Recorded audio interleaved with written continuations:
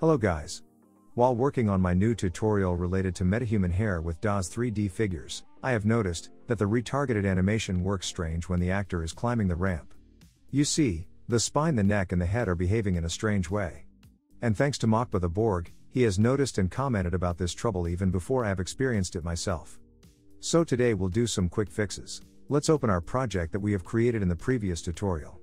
Open the content drawer, and navigate to the content, DAZ to Unreal, Girl, Animations. Find there the animation blueprint. Most probably it contains abbreviation ABP in its name. In my case it is named Girl ABP Manny. Double click it to edit. Now, you see there is an AnimGraph item at the left. Double click it to edit. You see, there is a control rig node.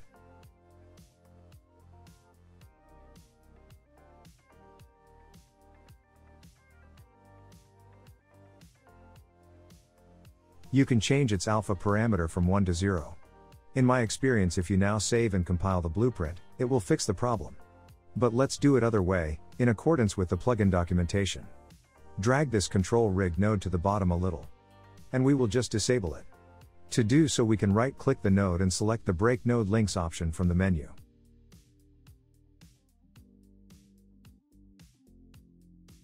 And now connect the default slot node to the output pose node directly. Just drag a connection with your mouse from the default slot output pin to the output pose input pin. Save and compile. And close the window.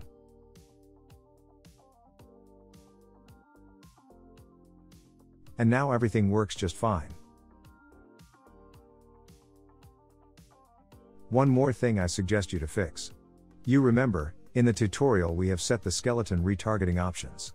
In our content drawer we navigate to content, DAZ to Unreal, Girl folder.